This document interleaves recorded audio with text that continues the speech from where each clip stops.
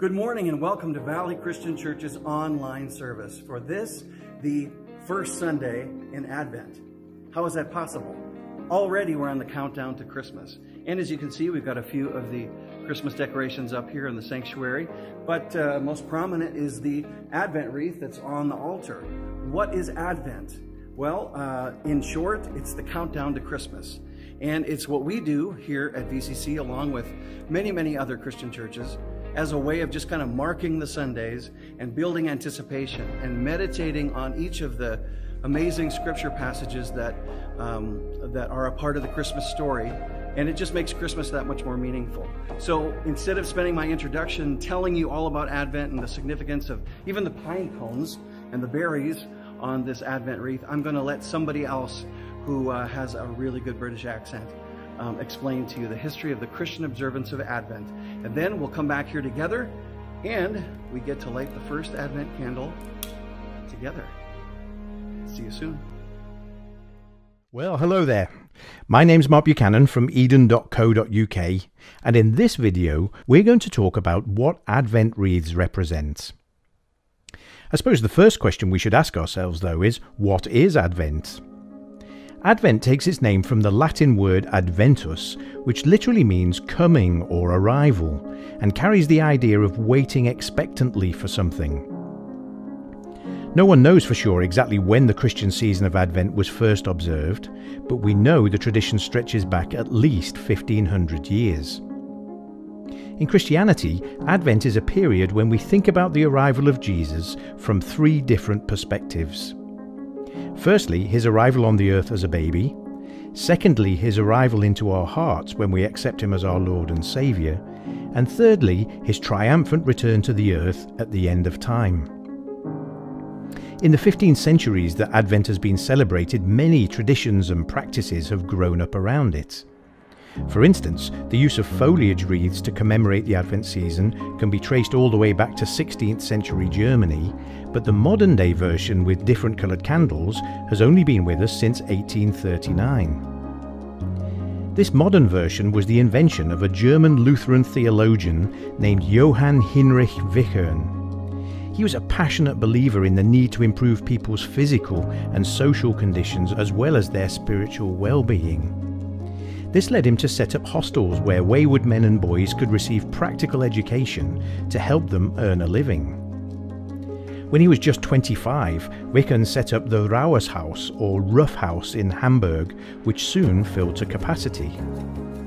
As the Christmas season approached, Wichern found himself constantly being asked, Is it Christmas yet? In order to avoid this daily interrogation, he decided to build a candle wheel he found an old wagon wheel, which he hung like a chandelier in the prayer hall at the Rauhes Haus. He placed four large white candles equally spaced around the rim of the wheel to represent the four Sundays in December before Christmas. He then placed smaller red candles to fill the gaps between the white candles, six each for the first three weeks and four for the last week. Each weekday and Saturday he would light one of the red candles, and on each of the Sundays he would light one of the large white candles. This was a simple way of marking the days of Advent and also helped some of the smaller children to learn how to count. Word soon spread about Johann Hinrich Wichern's new invention, and families all over Germany started to copy it. During that time, traditional foliage began to be incorporated into these candle rings, and the Advent wreath as we now know it was born. By the early 1900s, Advent wreaths were starting to appear in Protestant churches, and not long after that, Catholic churches also started to use them. By the 1940s, many churches in America were using Advent wreaths in their Advent services. Sometime during this period, a fifth candle, the Christ candle, was added to the centre of the Advent wreath to symbolise the light that came into the world with the birth of Jesus and the purity of his life. It may surprise you to know that Advent wreaths were virtually unheard of in the UK until 1965, when children's programme Blue Peter demonstrated how to make one and it was only in the 1980s that the Alternative Service Book of the Church of England started to offer any guidance as to how to incorporate Advent wreaths into Advent services. It may also surprise you to know just how many layers of meaning an Advent wreath has. For instance, the circular shape of the wreath symbolises the eternal nature of God and the everlasting life we find through Jesus. Even the evergreen foliage used to wrap the wreath can be seen as a symbol of the continuity of life. Holly, with its spiky leaves and blood red berries, is a seasonal reminder of Jesus' crown of thorns and his blood. And pine cones speak to us of life coming from death. And then there's the candles. The red and white ones chosen by Johann Hinrich Wichern were probably just what was available in his house, and they've remained the traditional Lutheran colours. Once Advent wreaths started to be used in churches, though, it didn't take long for pastors and priests to realise that they could use the four candles to represent the four themes of the Advent season. They also realised that they could match the colour of the candles to the colour of the vestments that they wore during Advent. So, what do Advent candle colours mean? In the Anglican Church, the four main candles are usually red, symbolising communion. In some Anglican churches and in Catholic churches, three of the four main candles are purple, symbolising prayer and penitence, and the fourth is rose coloured, symbolising joy. In those Anglican churches that follow the Sarum rite, the original basis for the Anglican Book of Common Prayer, the purple candles are replaced by dark blue ones, whose colour represents the colour of the night sky before the arrival of Jesus. The Moravian Church, with its emphasis on simplicity and practicality, prefers an Advent wreath with just four plain white candles, often made of beeswax. Different Christian traditions give the Advent candles different names and use them to represent different biblical themes. But in the most popular traditions, the first candle is referred to as the prophecy candle, to symbolize the hope of a Messiah proclaimed by the Old Testament prophets like Isaiah. The second candle is referred to as the Bethlehem candle, to commemorate Mary and Joseph's journey there in preparation for the Saviour's birth. The third candle is referred to as the shepherd's candle, and it reminds us of the joy that came into the world when Jesus was born. The fourth candle is known as the Angel's Candle and commemorates their declaration in the skies over Bethlehem of peace on earth, goodwill to men. In all traditions, the fifth candle is the Christ candle, and it's lit on either Christmas Eve or Christmas Day to celebrate his birth and the light he brought to the world.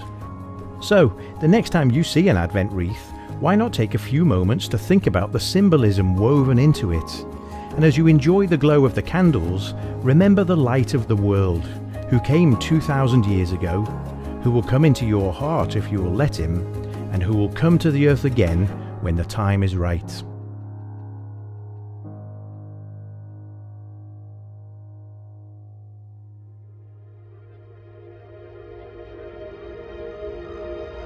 That was a fascinating video, wasn't it? I hope you enjoyed it as much as I did. So we learned a lot of things, but as it relates to the first Sunday of Advent, which is where we're today, the first candle we light is the candle of hope, the hope candle. So let's uh, let's do that now.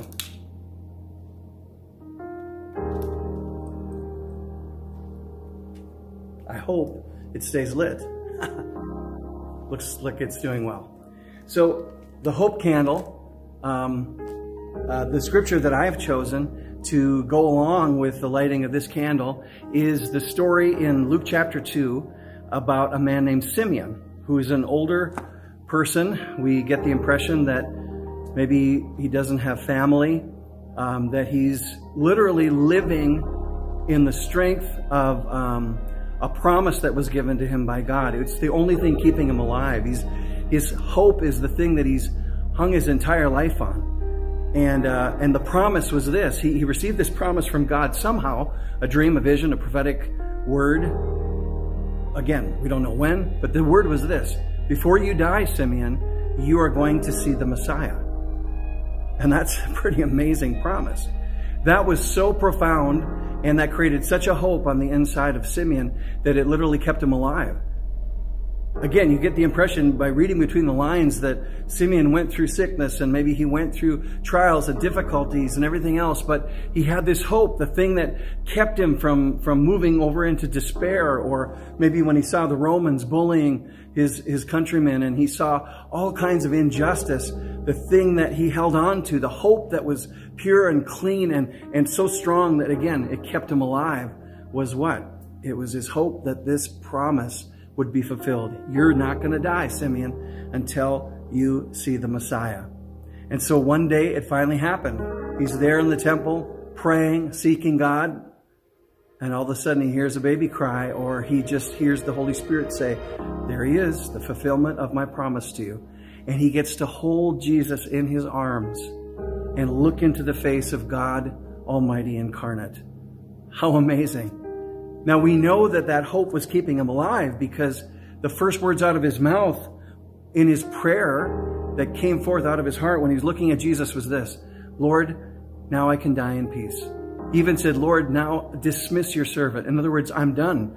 Uh, the hope that I had that was keeping me alive has now become my present reality. My faith turned to sight, and now I don't need to. I, I, you fulfilled your promise.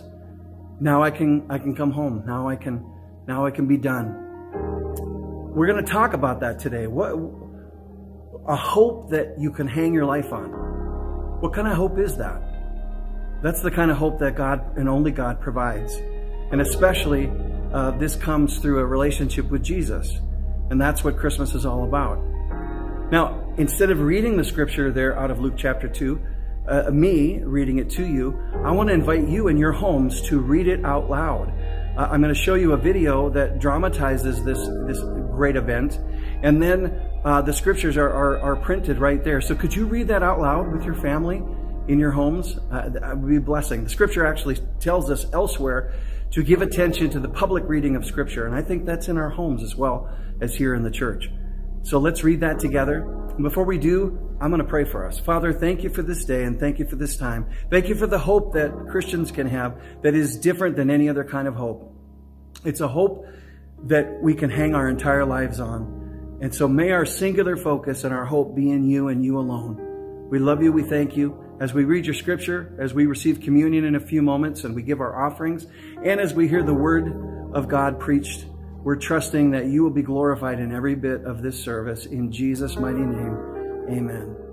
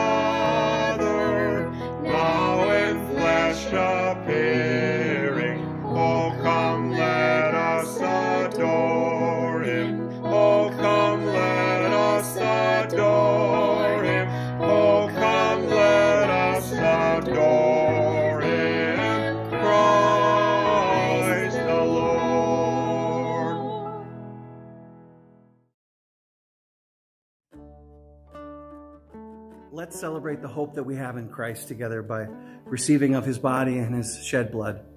In the same night that our Lord Jesus was betrayed, he took bread, and when he had given thanks, he broke it. He gave it to his disciples, saying, Take and eat. This is my body, which is broken for you. Do this to remember me. Jesus, we thank you for your broken body, and we thank you for the hope that each of us has because your broken body was resurrected. Ours will be as well. In Jesus' name. Let's eat together.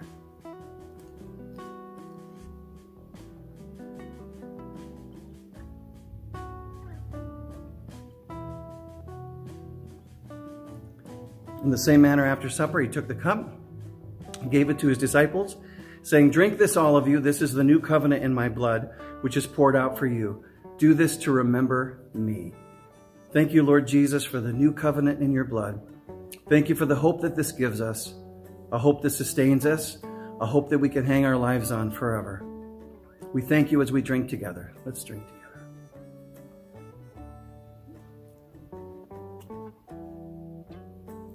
Lord, we thank you and bless you today for your greatness, your goodness.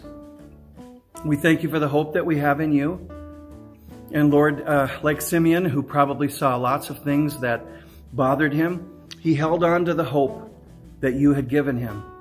And we choose to do that today as well. We see difficulties in our own nation.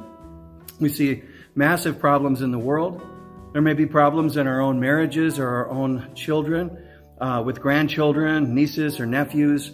Maybe difficulties with relationships or people who have uh, gotten sick and gone through difficult times, even those perhaps who have lost their lives. All of these are things that could take our eyes off of you and and get our hearts uh, to be emptied of the hope that you have deposited there.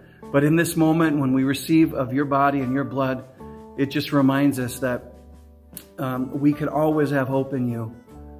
And so we reaffirm our hope today, our singular focus upon you. You are who we're living for. You are why we are alive, and your hope will carry us through every difficulty.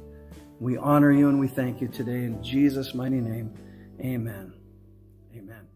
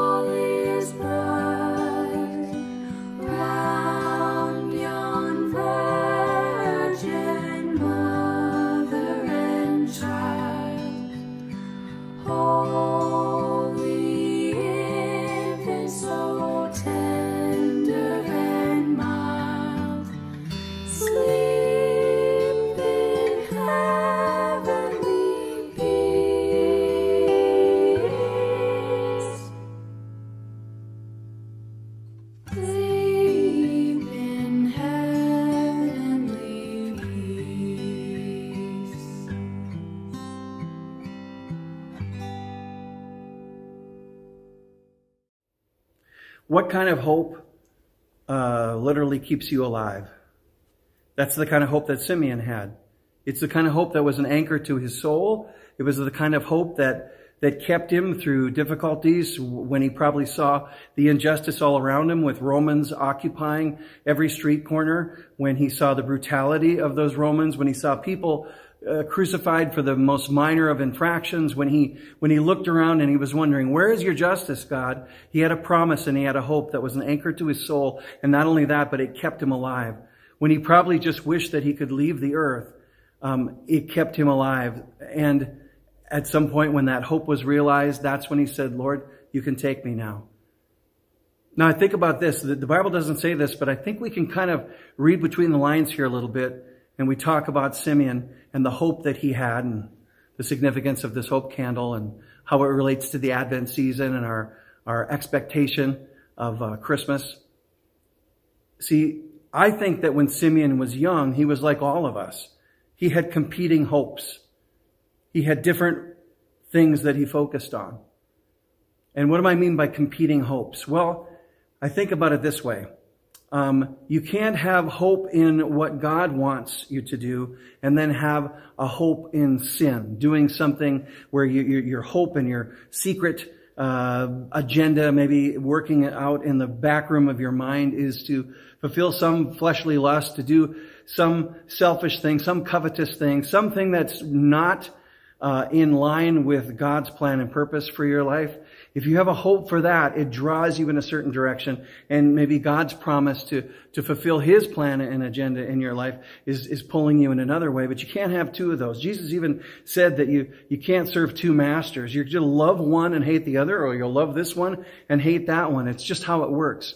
And I get the impression that if Simeon's like all of us, that those competing hopes dropped off one by one, one by one, one by one, until finally he had a singular passion, uh, a singular hope. And his hope was to see Jesus, to see the Lord's Christ, to see the Messiah.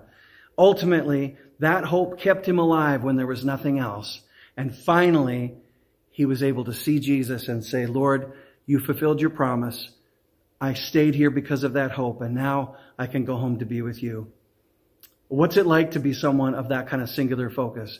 I think the Lord's calling us to be that way and not have to wait through years and a pruning process until finally when we're so at a place where maybe there's nothing else left in our lives and all we got, all we have is the hope that we have in the Lord. Maybe, maybe we should prune those things ourselves. Find those competing hopes, those, those secret desires that are not of God. Get rid of those things and, and, and to begin to become like Simeon, maybe at the age we are right now, no matter what age we are, we should be starting to think, how can I be singularly focused on this? There's quite a number of scriptures that come to mind. I'll just give you a couple. Jesus said in Matthew 6, I believe it was 33, seek first, number one, the kingdom of God and, and his righteousness and everything else will take care of itself. That's my translation. But he said, all these other things will be added to you. That is to say, the things that usually are uh, both good competing hopes and maybe even some, some that um, somehow bring worry and concern and everything else.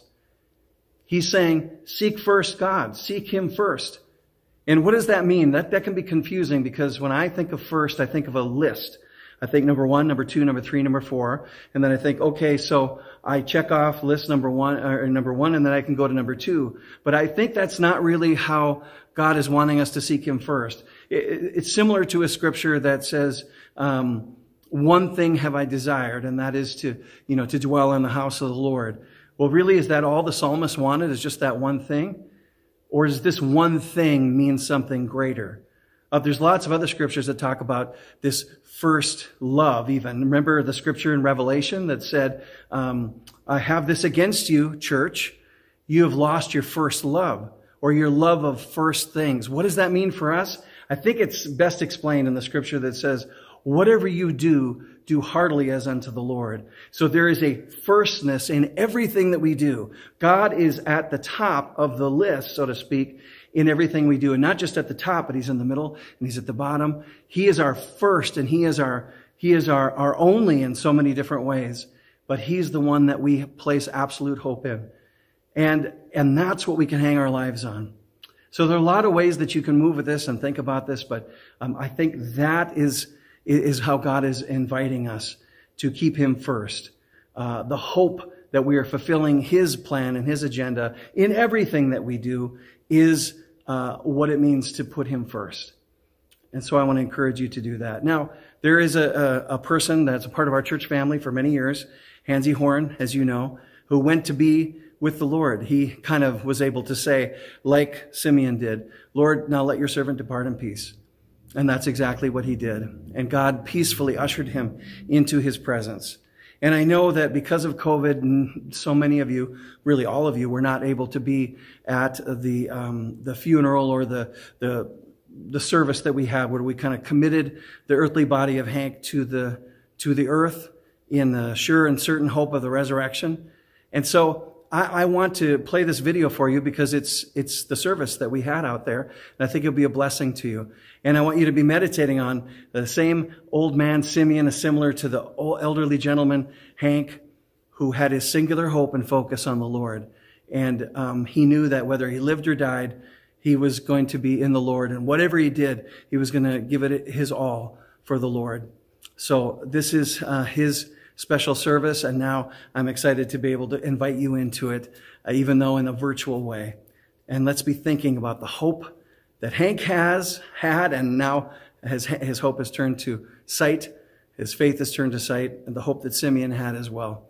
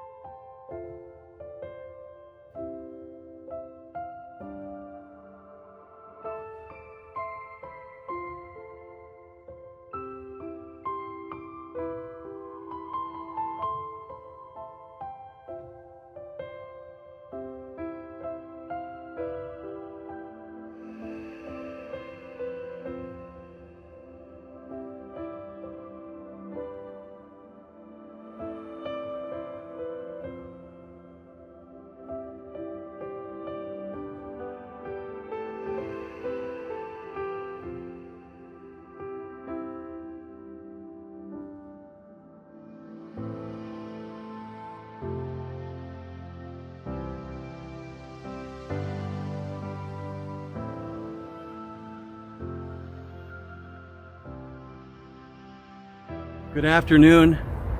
God bless you and thank you for being here today. I think I know all of you, but in case you don't know, I'm Pastor Chris. I had the joy of being a co-worker and good friend and and pastor to Hank Horn for quite a few years. And in a sense, he pastored me because uh, I was just a young kid before um, I came to the church. And uh, when I came there, he made sure I stayed in line and he taught me and uh, and we we grew together. We really did. I want you to hear the words of scripture that anchored uh, Hansy all of his life and uh, are really what conducted him into the presence of the Lord. I still, I'm still wondering if his Bible is is uh, hidden in the sanctuary, right in the same spot where he, probably right.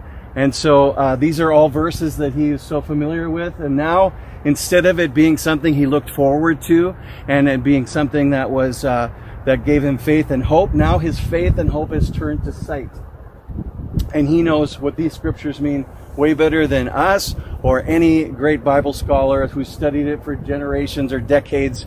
He knows now much more than we do. So it's with that understanding that we want to read these scriptures today. Before we do it, let's just pray together. Father, we thank you for this day. Thank you, Lord God, for your servant Hansy. Thank you, Lord, that he stands in your presence now, whole, healed, well, happy, filled with joy and uh, everlasting bliss because you have welcomed him into your kingdom eternally. And we say thank you for this indescribable gift. Now, as we read scripture today and as we sing and as we, we celebrate, we think, we're asking, Lord, that you, you, you would be the most honored guest here in our midst because it's because of you that Hank is now uh, in your presence and all is well. We thank you for this time we have together and ask your blessing upon it in Jesus' name. Amen. It says in Philippians chapter 3, verse 20, Our commonwealth is in heaven, and from it we await a Savior, the Lord Jesus Christ, who will change our lowly body to be like his glorious body by the power which enables him even to subject all things to himself. So all of us are in that situation, but Hank is now waiting for that next phase where his body will be changed and will be glorified. Romans 8 says, I'm convinced that neither death nor life, neither angels nor demons, neither the present nor the future, nor any powers, neither height nor depth, nor anything else in all creation will be able to separate us from the love of God that is in Christ Jesus our Lord. And so Hank is proof of that today, that death is not able to separate us from the love of Jesus. The same Jesus that he loved in this life he now loves even more after his death, his, the death of his body, and now he is with the Lord today. 1 Thessalonians 4 says, Brothers and sisters, we do not want you to be uninformed about those who sleep in death, so that you do not grieve like the rest of mankind who have no hope. For we believe that Jesus died and rose again, and so we believe that God will bring with Jesus those who have fallen asleep in him. What an appropriate scripture because Betsy was telling me he really just fell asleep in Jesus. And this was his desire for a long time. Um, not everybody is blessed with that kind of uh, homegoing.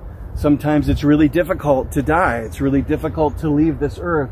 But Hank uh, got the desire of his heart, which was to slip out of this life while he listened to his favorite song. And so what a blessing, right? Just almost like it's scripted. And we think it was because the Lord is the one who writes the book of our life.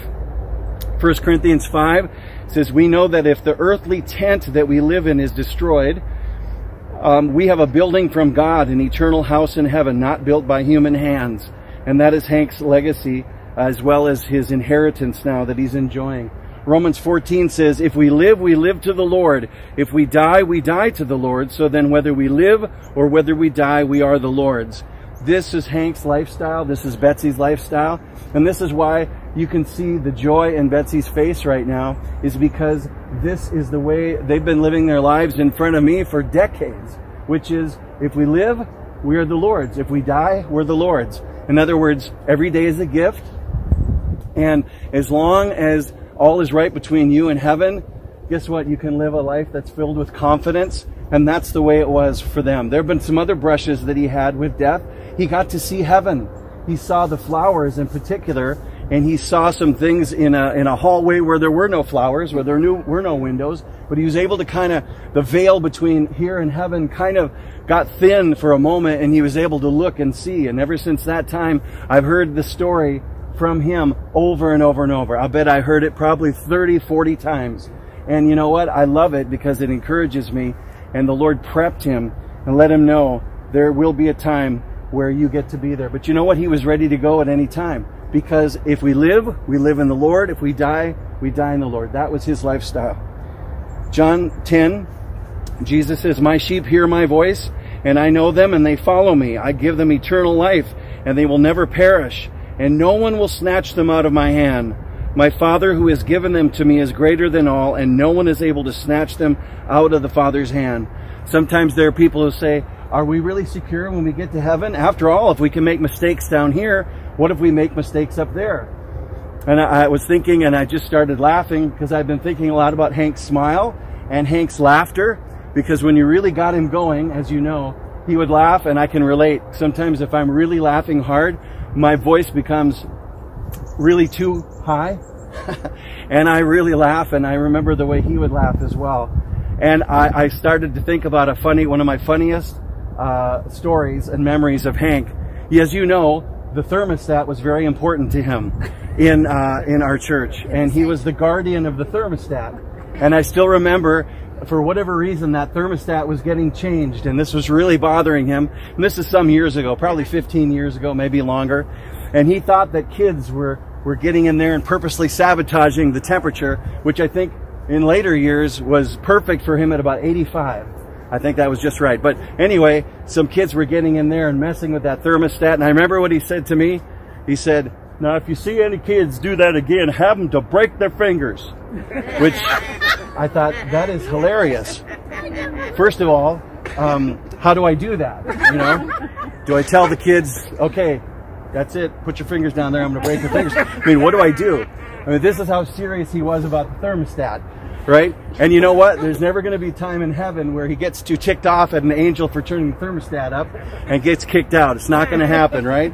As it says here in Scripture, I'll never be able, or, or, or, no one will be able to snatch you out of my hand. He is safe and secure, and all is well in heaven. The temperature is perfect for him now. A couple more scriptures.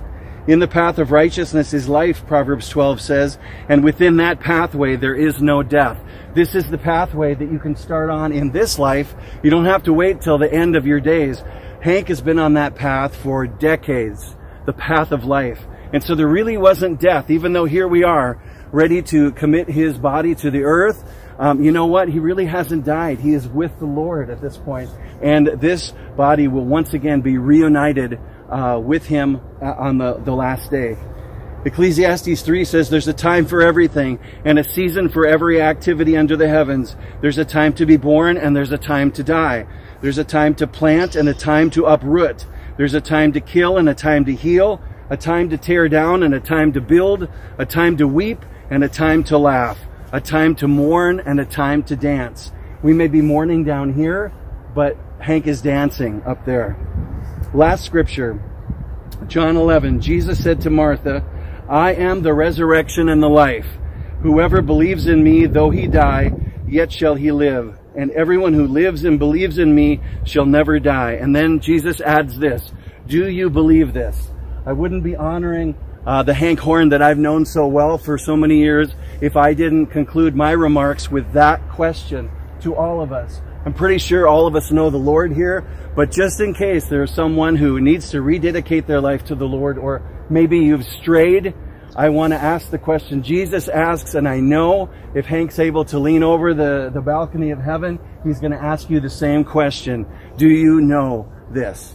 That he is the resurrection and the life. And if you don't, there's no greater way that you could honor his legacy and his life than by in your heart of hearts while we continue with the service, just say, Jesus, I give my life to you. I'm yours. And uh, that'd be the most beautiful gift uh, uh, that you could ever give to Hank. And so at this time, let's pray together.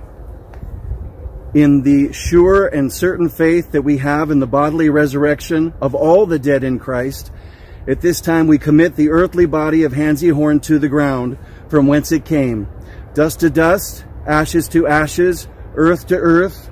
From the ground we come, and to the ground we return. We do not bury his body, but rather we plant it as a seed, confident that when Jesus splits this sky, and he will, and comes in the great end time harvest of all souls, Hansy's spirit will reunite with this body, which will become instantly glorified, and all of us in Christ, living or dead, will be caught up to be with Jesus, and so shall we ever be with the Lord. I want to invite you, if you know this prayer, to pray this prayer that now has come to pass for him. He no longer has to pray, Thy kingdom come, Thy will be done here on earth as it is in heaven. Now he's praying from a different perspective, from heaven. And so let's pray as Jesus taught us. Our Father, which art in heaven, hallowed be Thy name. Thy kingdom come, Thy will be done on earth as it is in heaven. Give us this day our daily bread and forgive us our trespasses as we forgive those who trespass against us. And lead us not into temptation, but deliver us from evil. For thine is the kingdom and the power and the glory forever and ever. Amen. Hansy Horn, the Lord now blesses you and keeps you eternally. The Lord is now making his face to shine upon you eternally, and he is being eternally gracious to you. The Lord is lifting up his countenance upon you now forever, and has now granted you everlasting peace. In the name of the Father, and the Son, and the Holy Spirit. Amen. Let us pray.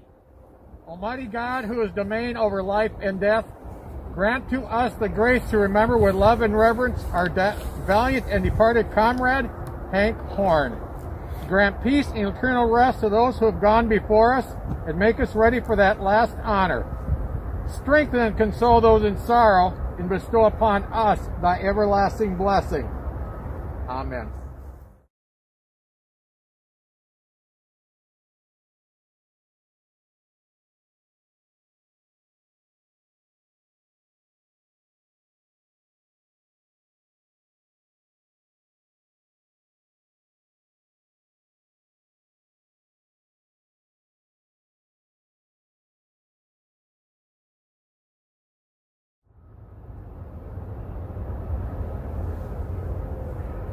Kindergarten, attention! Prepare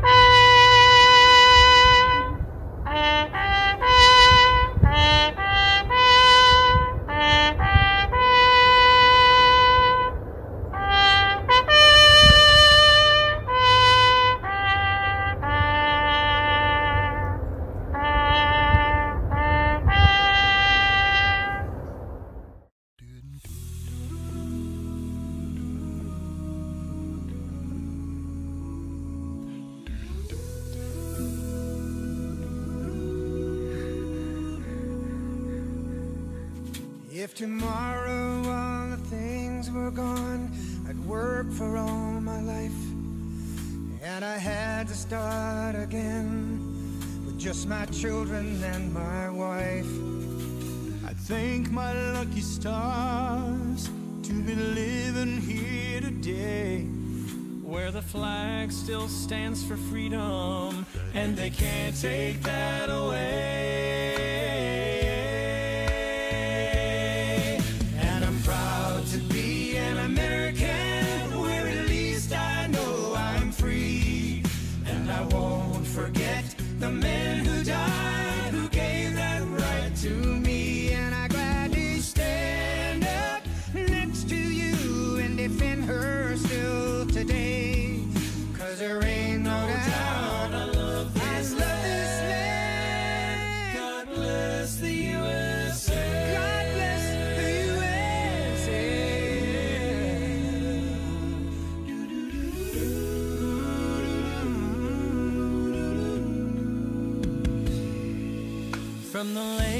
of Minnesota to the hills of Tennessee.